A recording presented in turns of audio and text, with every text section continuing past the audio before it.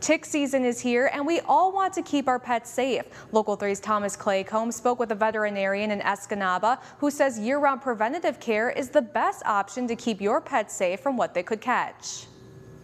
Flea and tick season is upon us, and the Escanaba Vet Clinic is sharing tips on how to protect your pets and you from getting sick. Fleas and ticks can transmit diseases to your pets and to yourself, so it's important to check them regularly and to dispose of ticks if they're on them safely.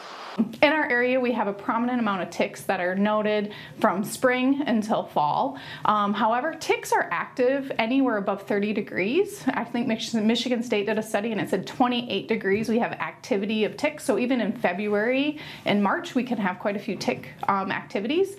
Um, so we do recommend using a preventative year round. The main things that we see here are Lyme infection and anaplasmosis infection, um, but there are some other diseases such as Ehrlichia and Rocky Mountain spotted fever and many others that ticks can transmit. Most tick infections are zoonotic, which means that they can be transmitted to humans as well.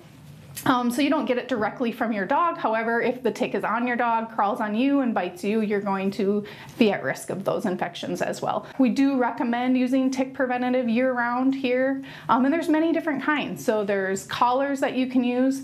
Um, the only collar that I really feel works is a Seresto collar. So there, there are good and bad ones. There's oral medications that you can give now that are really good um, and have a fast kill of that tick um, and pretty safe. We don't see a lot of side effects from them. And then we have have our topical medications.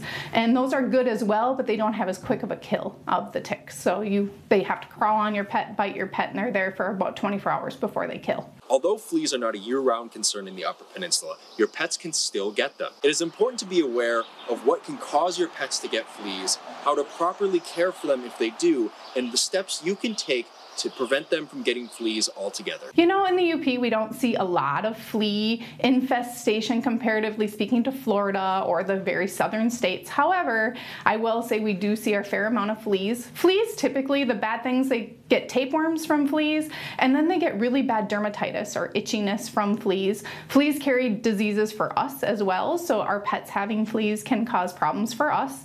Um, and so it's important to keep those off of them as well. Um, we have our flea season usually August. Fair week we start to see fleas in the area um, and then unfortunately we'll see them really get bad in November, December, and January. Those are the months and the reason is people stop using tick preventative.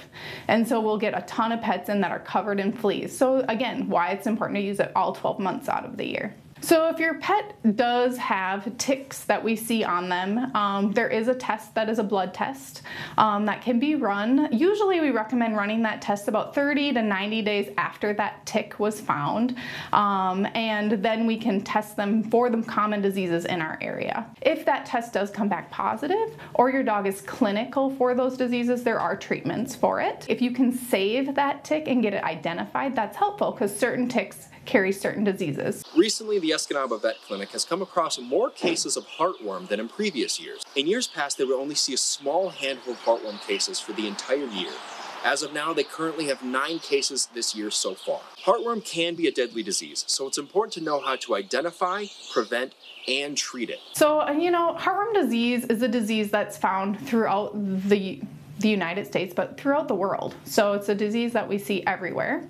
Um, it's a disease that's transmitted from mosquitoes to dogs. So mosquitoes carry that disease, um, and female mosquitoes are the ones that feed on blood, correct? So the female mosquito will bite a positive dog, pick up what's called microfilaria, immature heartworm disease, and carry it around, and then bite another dog and give that disease to that dog.